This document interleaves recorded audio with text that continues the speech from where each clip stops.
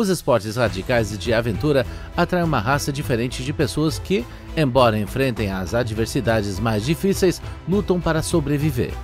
Houve histórias heróicas de como homens como Beck Weathers enfrentaram o Everest para voltar ao fundo, mesmo depois de ter sido abandonado para morrer, e Bethany Hamilton, a surfista profissional de um braço só. No entanto, nada pode ser mais dramático do que o nosso número 1, um, onde um amigo corta a corda de um colega escalador e o deixa morrer.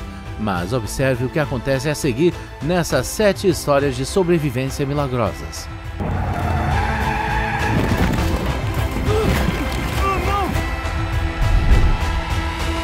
Amazing! Woohoo! 7 a equipe de futebol tailandesa sobrevive 17 dias presa em uma caverna cheia de água. Em junho de 2018, todo um time de futebol juvenil tailandês de 12 meninos com idades entre 11 e 16 anos foi levado por seu treinador em uma excursão à caverna Tan Luang, que por acaso é uma das cavernas mais longas da Tailândia. Enquanto explorava as profundezas da caverna, ocorreu um desastre. Uma inundação repentina acabou bloqueando sua saída e os empurrou 4 quilômetros para mais fundo em uma plataforma elevada onde estavam protegidos da água. Os meninos permaneceram lá por 17 dias, presos sem comida, e tomaram estalactites para terem água potável. Não havia saída porque a inundação havia enchido toda a caverna de água. Os meninos não perderam a esperança e preservaram a energia por meio da meditação. Felizmente, os meninos foram descobertos por mergulhadores britânicos que alertaram as autoridades sobre sua situação. SEALs da Marinha Tailandesa entraram em ação com a ajuda de mergulhadores internacionais. Os meninos foram resgatados, sendo obrigados a usar máscaras faciais de mergulho e amarrados entre dois mergulhadores, nadando por horas até que foram trazidos um por um. Toda a operação de resgate durou três dias, mas todos, incluindo o treinador, estavam seguros. Tragicamente, SEAL da Marinha morreu no esforço, que foi um sacrifício heróico da missão de resgate mais dramática de 2018. 6. Angela Hernandez sobreviveu a um acidente horrível. Chad e Chelsea Moore estavam caminhando sozinhos em uma praia que ficava diretamente abaixo de um penhasco de 61 metros quando viram algo que os chocou. Era um SUV acidentado e lá dentro havia alguém ainda vivo. Esse alguém era Angela Hernandez, gravemente ferida, mas viva. Em julho de 2018, Angela Hernandez estava dirigindo seu SUV perto de Big Sur pela rodovia 1 em direção ao sul da Califórnia, quando o pequeno animal cruzou seu caminho. Hernandes desviou e tentou evitá-lo, mas seu SUV ultrapassou a estrada e caiu do penhasco, rebolando para finalmente aterrissar na praia rochosa 60 metros abaixo. Hernandes sofreu hemorragia cerebral, costelas fraturadas, clavícula quebrada, vasos sanguíneos rompidos em ambos os olhos e um colapso pulmonar. Mas ainda assim, ela sobreviveu e não morreu. Bem, isso é uma espécie de milagre, e ainda mais foi a sorte que o casal Moore a encontrou nessa condição. Aparentemente, Hernandes sobreviveu à queda e, quando ela recuperou a consciência da água batendo em seus joelhos, ela quebrou uma janela com uma das ferramentas e rastejou para fora. Com costelas quebradas e tudo, ela nadou até a praia e desmaiou novamente. Ela novamente recuperou a consciência e caminhou descalça ao longo da costa em busca de ajuda. Ela caminhou por dias e, embora tenha notado vários carros passando no penhasco acima, nenhum ouviu seus gritos. Em seguida, os Moore que estavam caminhando pela praia avistaram seu SUV destroçado e em seguida encontraram Angela caída por cima de algumas pedras. Hernandes foi levado a um hospital onde se recuperou depois de passar pela maior provação de sete dias de sua vida. 5. O homem sobrevive 76 dias à deriva no mar. Nada pode se comparar à provação enfrentada por Stephen Callahan, que passou 76 dias à deriva sem rumo no mar. Stephen Callahan sobreviveu mais de dois meses à deriva no mar. Callahan havia feito com sucesso uma travessia a sol do Atlântico em um saveiro de 21 pés ou 6 metros e meio em janeiro de 1981, quando seu navio foi pego por uma tempestade e, para piorar as coisas, um tubarão ou baleia o atacou, abrindo um buraco em seu casco. O barco começou a afundar, mas Callahan não abandonou sem resgatar suprimentos. Ele mergulhou várias vezes no barco que estava afundando para recuperar equipamentos de sobrevivência, comida, água e uma jangada circular inflável de 1,82m. Callahan estava à deriva 800 milhas ou 1.287 quilômetros a oeste das Ilhas Canárias e se afastava cada vez mais da terra. Embora sua comida tenha acabado, ele felizmente estava com sua espingarda de arpão que usava para pescar. Ele até fez água com um destilador solar. No 14º dia, um navio passou por ele, mas não o viu, apenas passou por ele. Depois de 50 dias à deriva no oceano, Callahan disse que estava coberto de feridas por causa da água salgada. Ele sofreu desidratação, estava desnutrido e lutou para consertar um buraco em sua jangada. Depois de 76 dias, Callahan teve um golpe de sorte. Ele foi localizado por pescadores na costa de Guadalupe. Foi realmente um milagre ele ter sido encontrado e como ele sobreviveu é incrível. Qualquer outra pessoa naquela situação poderia até ter enlouquecido por causa do estresse mental de estar à deriva sozinho no mar. 4. Snowboarder sobrevive a destino gelado.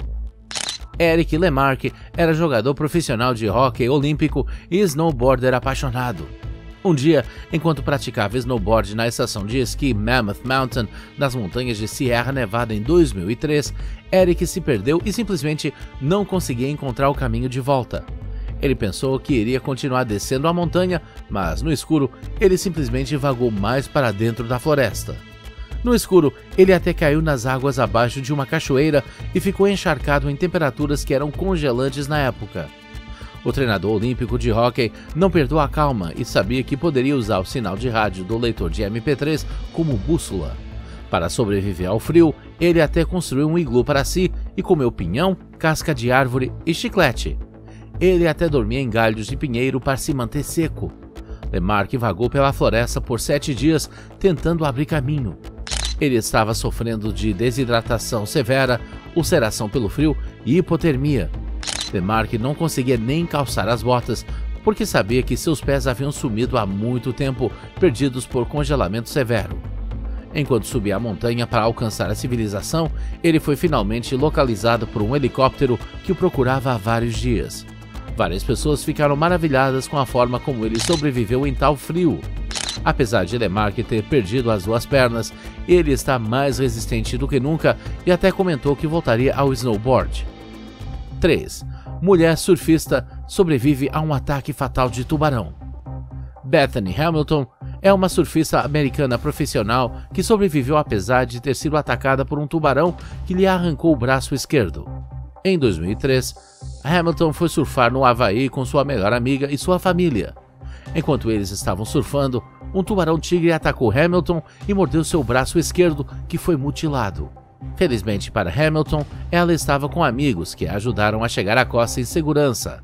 Hamilton havia perdido mais de 60% de seu sangue e estava em choque hipovolêmico. Ela foi levada às pressas para o hospital e milagrosamente superou a situação e sobreviveu. O tubarão que atacou Bethany foi encontrado morto no final daquela semana. Apesar de perder o braço, Hamilton voltou a surfar um mês após o incidente. Desde então, participou de várias competições e em 2012 tornou-se a primeira mulher surfista a surfar na taça Hip Curl. A história de Hamilton é incrível e digna do maior respeito, e ela se tornou uma inspiração. 2. Beck Weathers foi deixado para morrer duas vezes no topo do Everest. Beck Weathers foi uma das pessoas mais afortunadas por ter sobrevivido à malfadada expedição de 1996 ao Monte Everest, liderada pelo montanhista Rob Hall. Weathers, que é do Texas, já havia escalado o Monte de Vinson, na Antártica, e estava pronto para escalar o Everest, que seria sua segunda façanha no montanhismo. Rob Hall era um veterano experiente da Nova Zelândia que abriu uma empresa de aventuras em montanhas depois de escalar cada um dos sete picos, incluindo o Everest, que ele escalou cinco vezes. Entretanto, essa expedição estava condenada devido às péssimas condições climáticas. Antes de ir para o Nepal, Weathers havia se submetido à cirurgia LASIK para corrigir uma miopia e a altitude combinada com o mau tempo o deixou completamente cego no meio da montanha. Hall tomou a decisão de abandonar Weathers no meio da trilha, dizendo que deveria esperar pela equipe assim que eles retornassem após uma tentativa de chegar ao cume. Isso nunca aconteceria. Ainda que várias equipes que passaram por Weathers tenham lhe oferecido ajuda para sair dali, Weathers decidiu esperar pelo seu grupo. Quando Hall estava a uma curta distância abaixo do pico, um membro da equipe não pôde continuar e Hall decidiu não abandoná-lo, mas esperar. Infelizmente, ambos morreram de frio nas encostas, onde o corpo de Hall permanece até hoje congelado abaixo do cume do sul. Quanto a Weathers, ele esperou 10 horas, mas Hall não chegava nunca. Mais tarde, duas equipes de resgate em busca de Weathers e outros alpinistas o encontraram, mas o deixaram como morto, achando que ele estava desenganado e além de qualquer ajuda. Por alguma reviravolta milagrosa do destino, Weathers acordou de seu coma hipotérmico e se esforçou para descer a montanha, o que surpreendeu a todos que mais tarde descobriram quem ele era. Weathers perdeu o braço e os dedos da mão esquerda e teve o rosto gravemente desfigurado devido ao congelamento. Foi um milagre ele ter sobrevivido e foi o único de sua equipe de 13 membros. O incidente foi posteriormente transformado em um filme chamado Everest, estrelado por Jake Gyllenhaal e Jason Clarke. 1. Alpinista forçado a cortar a corda do companheiro de equipe que milagrosamente sobrevive à queda da montanha.